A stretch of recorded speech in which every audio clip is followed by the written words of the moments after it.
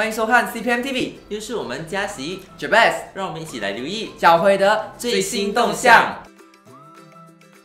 四十天全国禁食祷告会到今天已经是来到了第六天，而我们将会持续至九月十五号。这一次的主题为大丰收，而每逢星期二晚上八点半至十点，我们还是会有联合祷告会，让我们一起同心合一的来祷告。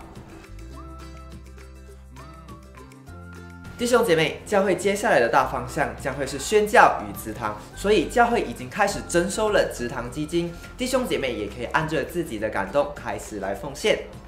单笔奉献将在八月第三个主日，八月十九号征收，而每月固定奉献可分为三个月，分别是八月、九月及十月的第三个主日征收。此外，弟兄姐妹也可以选择硬体设施奉献，但记得在此注明。若弟兄姐妹愿意成为委身投入职堂的工人，可以在这里打勾并写上名字。弟兄姐妹记得把在完成填写后，一并把卡片和奉献金额放入奉献信封，并勾选宣教基金。哎，嘉喜，那个 executor 的 camp 你报名了吗？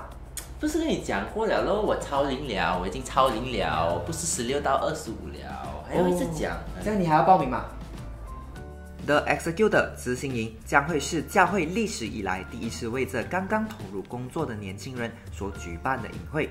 除了一系列十分挑战极限的体力游戏，还有来自外地的专业讲员带来生命震撼的信息。日期落在八月三十一号至九月二号，地点锁定在 Broga Outback，提供教会和 Broga 现场的来回交通。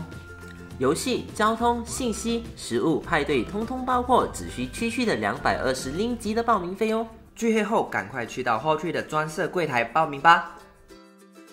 下个月的九月十号至九月二十一号，各个小组将会展开中秋小组布道。如果还没参与小组的你，赶快找个小组来参与，让我们透过中秋布道把福音传出去。